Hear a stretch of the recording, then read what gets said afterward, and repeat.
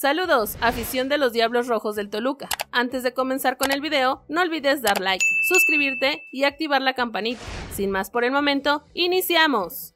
Lac de Jong rechaza firmar con el Toluca. Después de varios días de rumores, en los cuales incluso ya se daba como un hecho si fichaje, el delantero neerlandés de nueva cuenta ha rechazado a la Liga MX y decidió no firmar con el Toluca para la apertura 2022. Fox Sports dio a conocer que el actual delantero del Sevilla ha rechazado firmar con los Diablos al no agradarle la idea de militar en la Liga MX, siendo la tercera vez que descarta a un club mexicano tras haberse rehusado a jugar con América y Rayados en el pasado. La prensa europea señala que Sevilla y Toluca ya se habrían arreglado económicamente, pero fue el ex delantero del Barcelona el que tiró abajo la negociación al negarse a jugar con con los Escarlatas, los cuales ahora buscan otras opciones de fichaje. Toluca de soñar con Cobani a pensar en Eduardo Aguirre, pese a que Toluca ha mostrado el fuerte interés por fichar a jugadores de talla mundial como Edinson Cobani o Lac de Jong, el equipo choricero podría voltear a ver al mercado mexicano ante la dificultad de negociar con jugadores de renombre. El equipo choricero ya estaría sondeando opciones y una de ellas sería la de Eduardo Aguirre, delantero de Santos Laguna que cuenta con cierta experiencia en el balompié azteca. De acuerdo a la periodista Blanca Ríos de Fox Sports, el equipo mexiquense tendría un interés en fichar al Mudo, quien en Santos Laguna no goza de un buen momento. La competencia en el conjunto guerrero sería complicada, pues Harold Preciado y Javier Correa podrían llevar ventaja sobre Aguirre, por lo que la oportunidad de ir a Toluca le serviría para poder tener mayor regularidad. Hasta el momento,